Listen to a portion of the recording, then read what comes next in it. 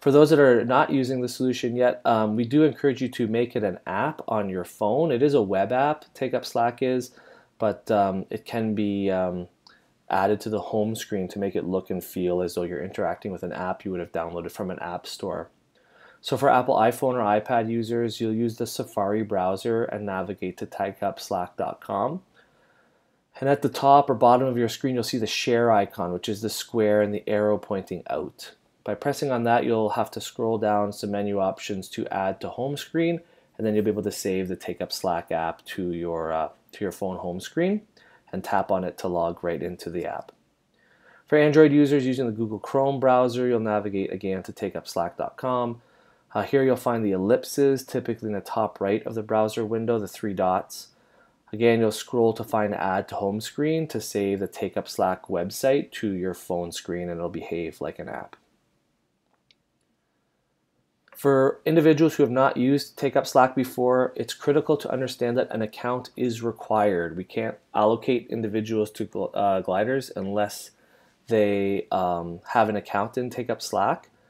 Um, it's worth highlighting though that the app is use of the app is not required. So you do have to have an account so that you can be put in gliders, but you are not obligated to use the app on the field. If you have to delegate your responsibilities, um, you can definitely do that. So you'll uh, go to takeupslack.com and ask to sign up, providing your email address, name, and setting a password. The system will email you a confirmation code that you'll have to input to verify your email address, and then you'll look to um, request membership at the Alberta Soaring Council. That's probably all you really need to do at this point. You won't be activated at the Alberta Soaring Council until your registration is paid. Um, but uh, please do take the time now, if you haven't already done so, to make an account uh, in Take Up Slack.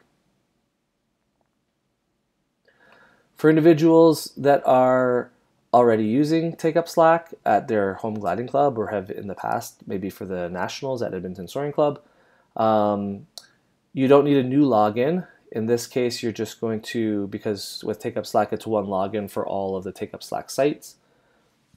And then to use Take Up Slack at Cowley, you'll need to be logged into Take Up Slack and then hitting settings at the very top of the page, um, you'll scroll down to request membership at and find the Alberta Soaring Council.